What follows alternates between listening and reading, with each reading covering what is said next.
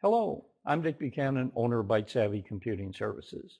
Over the years, many of my customers have been frustrated because every time they start their PC, they have to log in.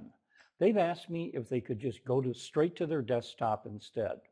Well, as long as you're not concerned with security and it's your home PC, the answer is yes. Let's see how that's done. We begin by clicking on the Start button and typing netplwiz in the search box and pressing the Enter key. Notice that this checkbox is checked. We uncheck the box and then click the Apply button. We enter our password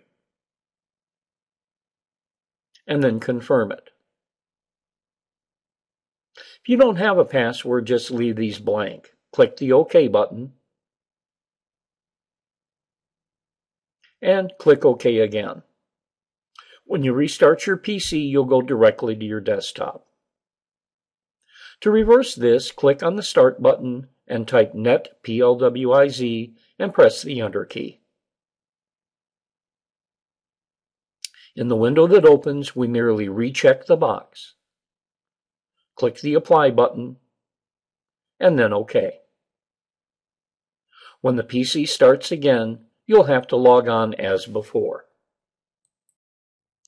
I hope this little computer bit has been helpful. Please subscribe to our channel and come back often to pick up more tips on Windows. Remember, the better you understand Windows, the more fun you'll have with your PC. Goodbye for now.